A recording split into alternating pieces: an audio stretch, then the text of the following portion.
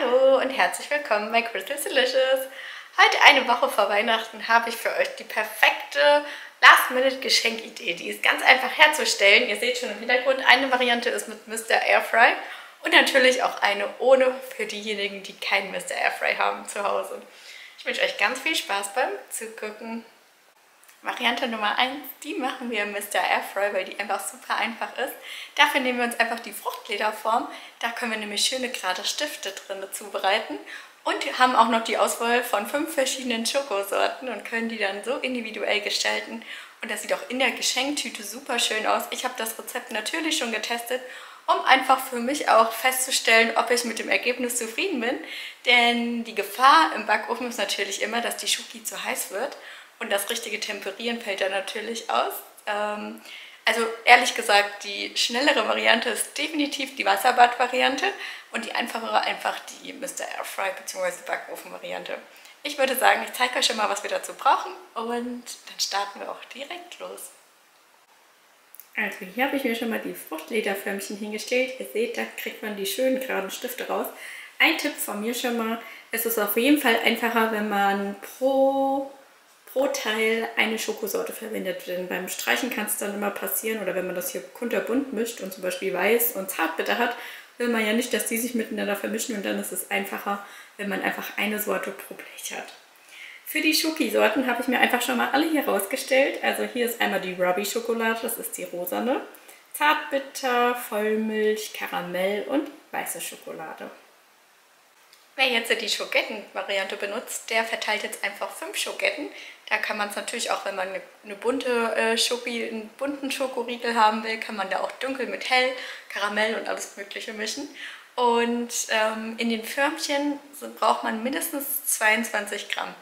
Ich habe das beim ersten Mal wirklich abgewogen, aber eigentlich kriegt man da ein ziemlich gutes Augenmaß hin, denn es ist eigentlich nur wichtig, dass die Form voll mit Schoki ist. Natürlich nicht zu voll, ich zeige euch das gleich.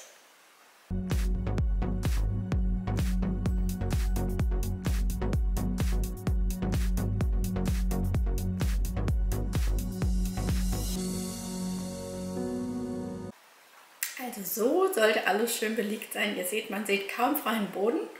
Und dann bereite ich gleich schon mal das zweite Blech zu, denn im Mr. Airfry können wir zwei gleichzeitig reinschieben. So, dann machen wir mal den Mr. Airfry auf. Die Fläche hole ich jetzt raus. Und dann verteilen wir die Schoki einfach nur einen unten und einen oben hin.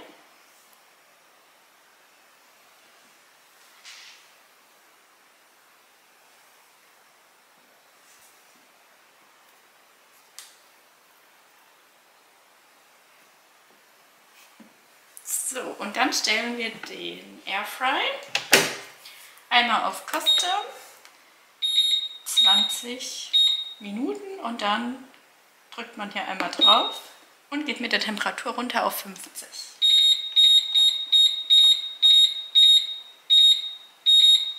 Und das Schöne übrigens ist, jetzt drücken wir gleich einfach drauf, dann startet er schon direkt.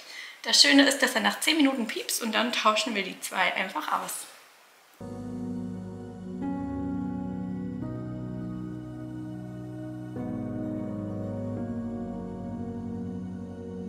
In der Zwischenzeit könnt ihr schon mal, habe ich jetzt hier ähm, sehen, das, zwei, also das dritte Blech vorbereitet für den Airfryer. Einmal mit weißer Schoki und Karamell, auch super lecker.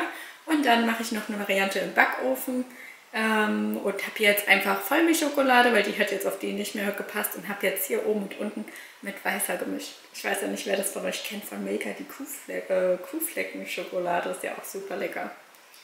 Und dann bereite ich gleich nochmal die Streusel vor. Hier habe ich hier schon mal kleine Mini-Marshmallows und eine ganze Reihe an Zuckerstreuseln vorbereitet.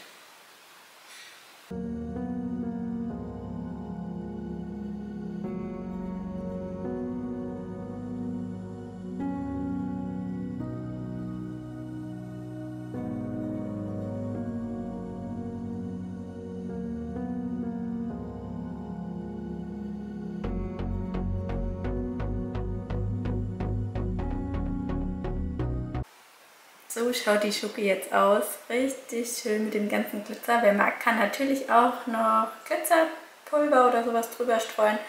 Und dann kommt das Ganze jetzt in den Gefrier. Ihr seht im Hintergrund, es ist geschafft. Ich habe jetzt alles mit Zuckerstreuseln verteilt. Und wer mag, kann natürlich auch noch Glitzerpulver drauf geben. Das werde ich auf jeden Fall bei der Zartbitter-Variante machen. Das sieht sehr, sehr schön aus und wirkt äh, optisch, optisch gut.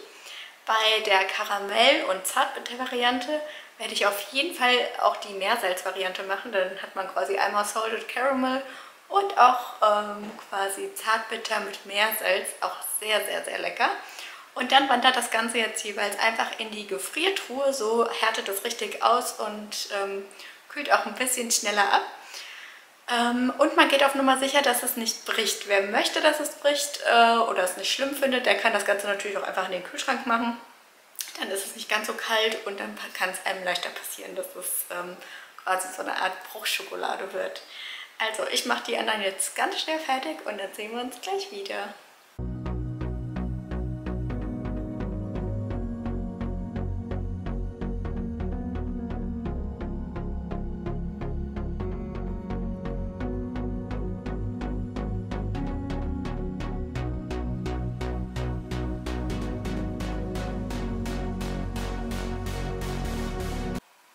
So, währenddessen unsere Idee Nummer 1 jetzt erstmal im Kühlschrank und Gefrier ist und erstmal fest wird, zeige ich euch jetzt schon mal Idee Nummer 2.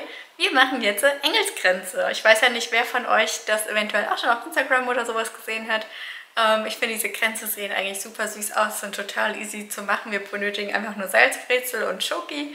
Die Schoki schmelze ich jetzt im, im Wasserbad und zeige euch gleich auch noch, auf was man alles achten sollte, damit da nichts schief geht. Und dann wird das Ganze in der Mitte, wo die Schoki ist, einfach nur mit ein paar Streuseln verziert. Kommt in den Kühlschrank zum Festwerden und dann äh, verpackt man die einfach schön in Tütchen und kann die so verschenken. Ich finde, das ist eine super Idee für Erwachsene. Und ich würde sagen, wir starten schon mal direkt los. Also wir benötigen einfach nur ähm, Brezel. Da habe ich jetzt hier Dinkelbrezel ausgewählt. Und hier habe ich jetzt schon mal Schokolade vorbereitet. Ich habe mich jetzt hier für Vollmilch entschieden. Ähm, wichtig beim Wasserbad ist eigentlich immer nur, dass die Schüssel, wo die Schokolade drin ist, nicht das Wasser berührt, denn das ist nämlich viel zu heiß. Wir schmelzen die Schokolade quasi nur mit dem Dampf. Und wenn man das beachtet, kann eigentlich nichts schief gehen. Und dann äh, rührt man natürlich währenddessen die ganze Zeit. Und hier habe ich jetzt so 100 Gramm Schokodrops und hier unten habe ich schon mal 50 Gramm ähm, zur Seite gestellt, weil wir das Ganze wieder mit der Impfmethode machen. Das bedeutet, dass man ein Drittel danach einrührt, damit dann ähm, die Schokolade richtig runtertemperiert wird. Und so verhindert man dann eigentlich einfach nur, dass man keinen Grauschleier hat. Also schmelzen wir jetzt erst einmal die Schoki.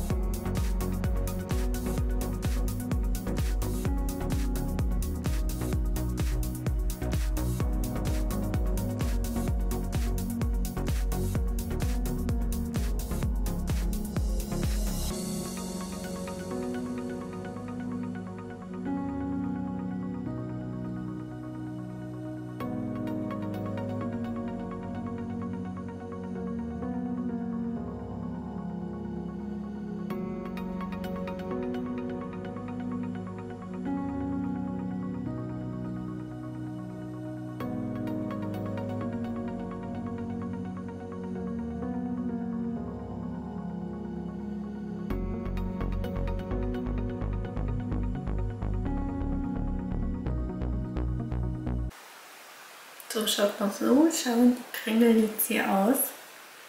Also aussehen tun die schon toll. Ich mache die jetzt einfach, ähm, oder Ich gebe euch mal den Tipp, dass ihr am besten direkt ähm, eine flache Unterlage drunter macht. Ich nehme jetzt einfach einen Torten, Tortenretter, den mache ich unten drunter, den habe ich in eckig.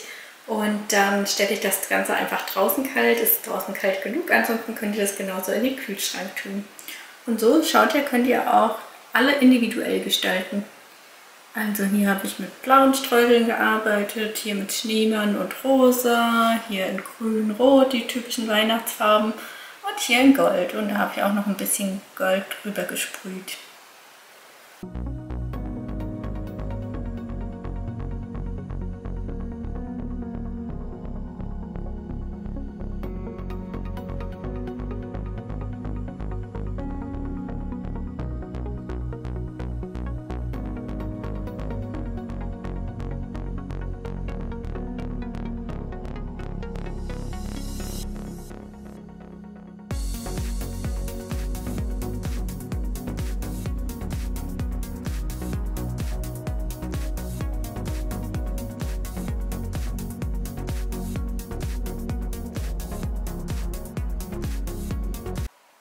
Ihr Lieben, das war's auch schon wieder von mir. Ich hoffe, es sind zwei Rezepte für euch dabei, die ihr auch ähm, verschenken wollt oder nachmachen wollt.